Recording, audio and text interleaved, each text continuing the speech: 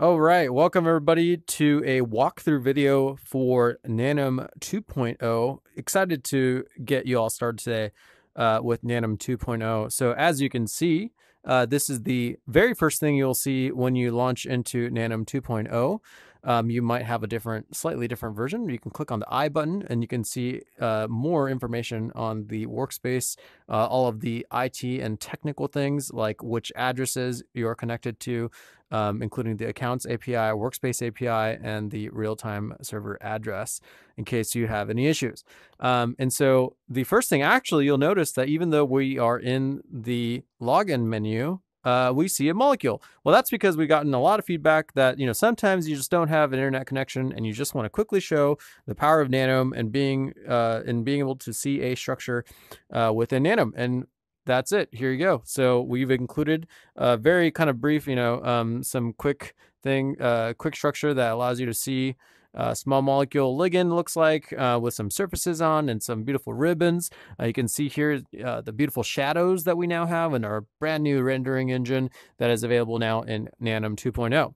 All right, so the first thing we're going to do is we're going to uh, go ahead and log in. Um, I don't want to show you my password, so I'll see you on the other side. All right, so we are now in Nanome 2.0, and the first thing you'll notice is that once you log in, uh, you'd no longer see a lobby. And that's because we've now, uh, we no longer have the concept of rooms. And now we have con- uh, it, everything in Nanome 2.0 is surrounded around the idea of workspaces. So the first thing you're going to go uh, do is like on the left side here, this is the main menu. On the left side here, if you go to the workspaces tab, you'll see all these different workspaces. And so as you can see, I've been using Mara, our uh, large language model um, informatics orchestration platform uh, a lot. So you can see that I've been I've been loading some molecules from there. What I'm going to do is uh, I've no, I've prepared a structure using Mara, uh, and I've made a workspace. So I'm going to go ahead and select that, um, which is the the first top one you see here, Mara 5 CEO. And so I'm going to click on that and click on load. And you'll see a audio indicator. And uh, look, it's Steve Gnome. Steve is already here. And you'll notice a couple of things already that is fairly different here. So first off, you don't see a floor where you can teleport around. It's also mixed reality first. So it's no longer VR first and you have to turn on pass through. Its pass through is by default on. Uh, and uh, on top of that, you'll see um, that two things. One is that we see Steve's avatar right there. We have Steve's real life person right there. It's mirrored. But on top of that, if I move the structure, you'll see Steve's blue cones here that are independent from the avatars uh, that you see. And so, you know, the most important thing that we've um, gotten feedback from our users is that that the fact of where exactly you know your fellow researchers are pointing at within the structure.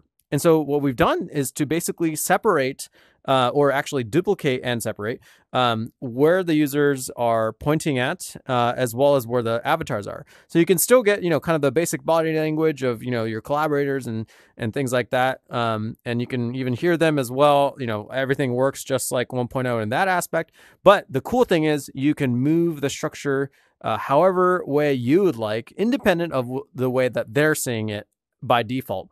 And you get to see where they're pointing at at the same time. Um, and so this is a super powerful thing. And, and it's uh, for Steve, it's exactly the same. So, Steve, you can see uh, where am I pointing at? Uh, yeah, you're pointing at the ligand uh, right here, and so am I. So, you know, we kind of get in there and you know talk about different structures together um, talk about you know maybe this uh, a little bit deeper in the pocket, maybe trying to get some interactions if we change some of the atoms there. Fantastic. So that's a great demo there. Um, the other thing that I also wanted to point out was that when I selected a workspace, it didn't just load the structure, it also included Steve. And that's because Steve also loaded this workspace as well. So basically, your data and the room are basically kind of the same thing here. And again, they're known as workspaces. Um, and so if I go to the workspaces tab and if I switch to a different workspace, let's say I switch to uh, Mara 1 TYL, I can actually load that space and you'll notice that Steve is no longer in this uh, workspace, and that's because I haven't invited him. So let's say that I actually want Steve in here. So there's two ways to do that. I could go to the collaboration tab on the main menu here. And then right now, this is set to private.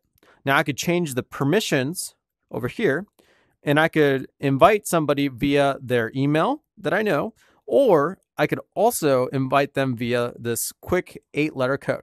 So, Steve, if you could join another workspace, i am about to give you this code. It's KRZMFTFB.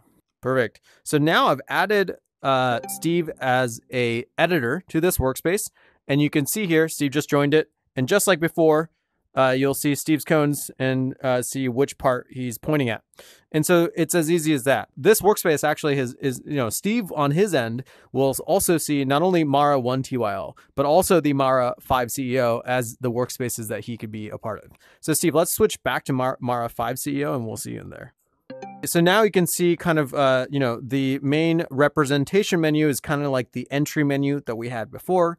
We have the collaboration or the workspace menu, which is uh, where you see the list of workspaces uh, and the set of datas and you know different kind of. It's kind of like the rooms that you that you might be used to, um, and the collaboration um, tab over here on the left side shows who is in the room, the status of your mic, different permissions, things like that as well. Um, we kind of briefly touched upon this, and I invited um, Steve as a editor here but if you see on the top corner on the permissions tab, there's actually three different um, statuses for permissions. Uh, one is owner. You know, I'm the owner of this workspace, so that's I'm owner here. I have the right to delete this workspace because I am the owner. But um, editor means that you know you can freely edit the workspace as you see fit. And then lastly, we have a viewer mode, and the viewer mode um, allows you to uh, just simply view structures without modifying them. Um, and then lastly, on this tab on the main menu on the left side here, you have the settings uh, button, um, and that uh, controls basically, you know, if you wanted to switch between VR and MR, uh, mute your microphone, those types of things. And then lastly, because of this new workspace paradigm, before we had the load menu where you can load from different uh, various um, databases and websites and whatnot. Um, because what we are trying to, uh, you know, the, the workflow that we imagine is the smoothest would be to set up our workspace as well as your data uh, from within the web portal or even Mara, uh, and then hopping into VR. And so that's why we've kind of prioritized this workspace flow for now. But in case you wanted to load directly from within VR, we still have the load structure button on the very left. And if you click on there, you can type in a PDB code and you can load in a PDB. And so um, those are kind of the, the basics of this menu right here. Um, and then um, uh, another kind of uh, menu aspect is that uh, just like in 1.0, the left hand has a menu, although it is much more simplified for now. You can mute and unmute yourself. Uh, and then you can also click this button here, which is the kind of like this mini nano button. Um, and that's what instantiates uh, the main menu. So if you ever get lost or if you don't know where that menu is, you can click on this menu and uh, it, it will um, show that menu right in front of you. Um, another thing that you can see here is that you can see who's in the um, in the uh, workspace, and so of course Steve is in my workspace, and I can see that that is the case. Now you might have noticed on both on your wrist and as well as the top side uh, top or top of the main menu that now there are these two icons. Not only can I click on the people that are in the workspace, I can click on this king or this uh, crown icon um, which is uh, which will activate spotlight mode. Now, spotlight mode has to do with the uh, kind of the dynamic that I previously mentioned, where before um, or now we actually have a separate kind of a positioning for uh, the structured centered positioning of the user's hands as well as um, kind of the user's hands when it comes to uh, you know where the avatars are. And so um, what I can do is that if I click on spotlight mode, then now Steve is going to see exactly the way that I do. And so it might be a little hard to show it from my perspective. So now I'm going to actually, instead of spotlighting to Steve, I'm going to follow Steve and let him spotlight. So if I click on his icon, I could do that. Now I'm following it. So now you can see that I'm no longer modifying or changing the structure size or the position. And you can see that um, he's he's kind of uh, presenting to me exactly the way he wants it to. Um, and so I can kind of, uh, you know, uh, adjust this uh, at any moment. It will snap me out of the follow mode. Um, but uh, again, if I just in case I lose my place or if I want to follow Steve again, I could either click on his icon or Steve could start spotlighting. So Steve, if you could start spotlighting, perfect. It's going to show me that he's activated spotlight mode. And then now I'm going to be able to, again, see exactly how he's positioning everything because I am following. And this also applies to multiple users. If you have, you know, three or four users or, or what have you, uh, when you activate Spotlight mode, it will propagate to all of those users in the workspace um, as well. So you can also follow different users. So let's say that I have, you know, um, somebody else that's in this workspace. I could either choose to follow Steve or this other person. Um, and so I don't necessarily have to always be following a one person. All right, so that's that's the basics of the menus at the top. Now I also want to uh, show the menus at the bottom. So in order to do that, I'm to go ahead and uh, so first off, this I noticed that this structure doesn't have a name here, so I'm to rename this to B5CEO. There you go. All right, now I want to add a different structure here. Uh, one of my favorites, one YUI. So now I'm going to load one YUI into this workspace. All right, so what you'll notice now is that unfortunately, uh, these two structures are uh, fully overlapped. Um, now, obviously, that is not, you know, it's not like we're trying to, you know, look at a, uh, identical proteins. They're very different proteins, and it's not like we're trying to do RMSD. So we want to change it. Now, you'll notice that uh, in 1.x, you had to precisely grab exactly on each of those proteins in order to, uh, you know, modify the positions. Uh, what we've done is that we've actually um, made it very easy to intentionally move one or the other protein. And so on the bottom, you'll see a position mo molecules toggle.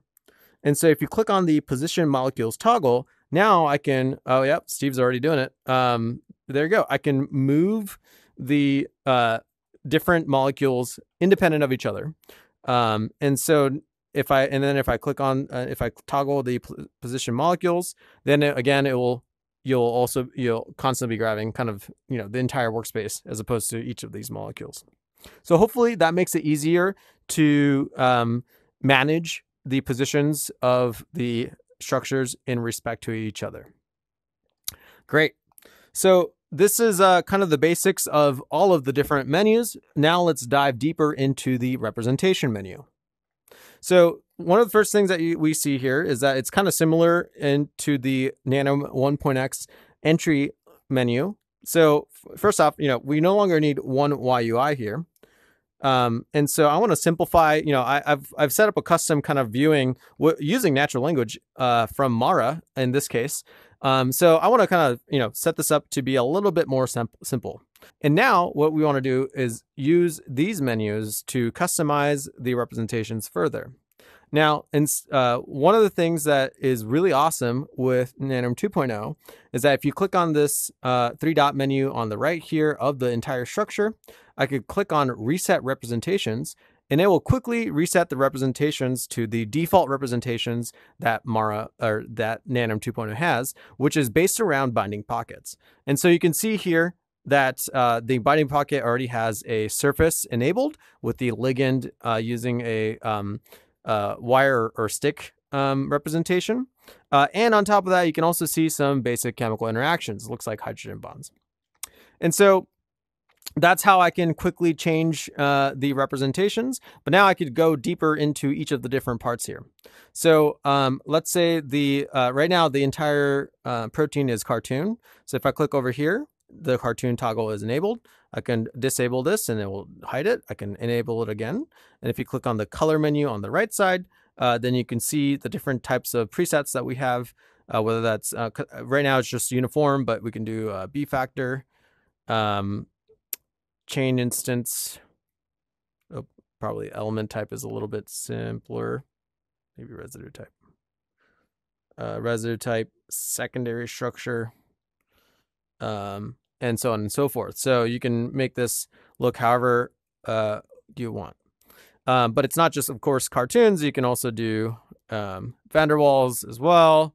You know, of course, if you want to do the entire protein as ball and stick, you can also do that as well.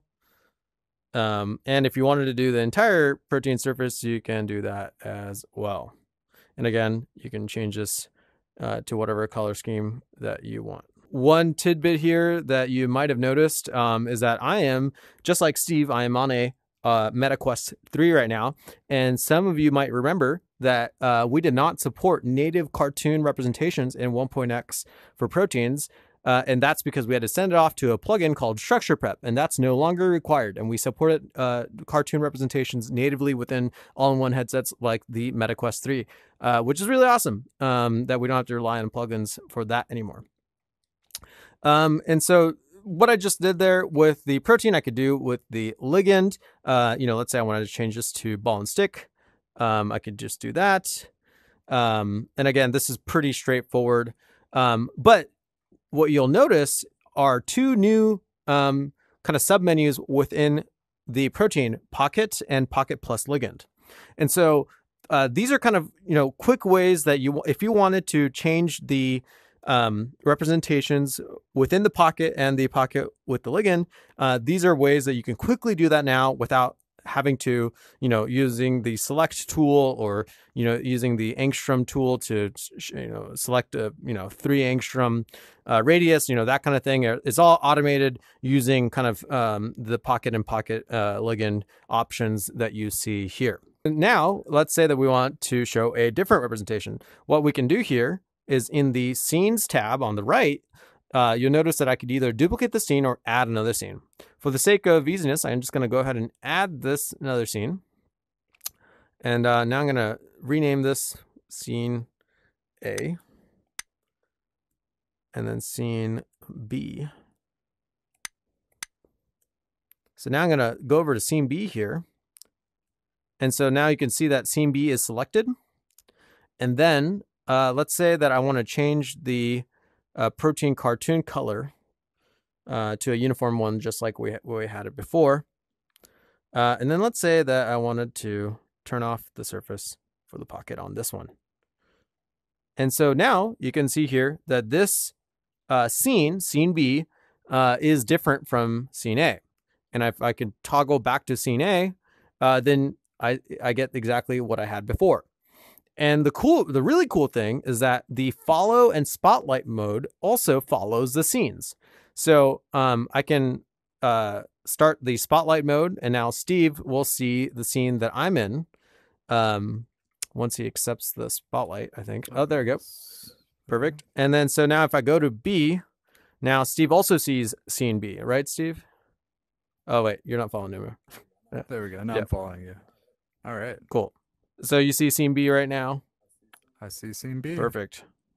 Oh, every time you grab it, you unlock. Yeah. Oh, yeah. yes, that's right. Yeah, yeah. Yes. Let me follow yeah, and not grab. All right. Um, so yeah, that is the basics for Nanome 2.0. We'll be continuing to add many features to Nanome 2.0. And so we'll be making more videos that show you exactly what you can do with Nanome 2.0, as well as the Nanome AI package that includes Mara. So we'll see you in the next episode.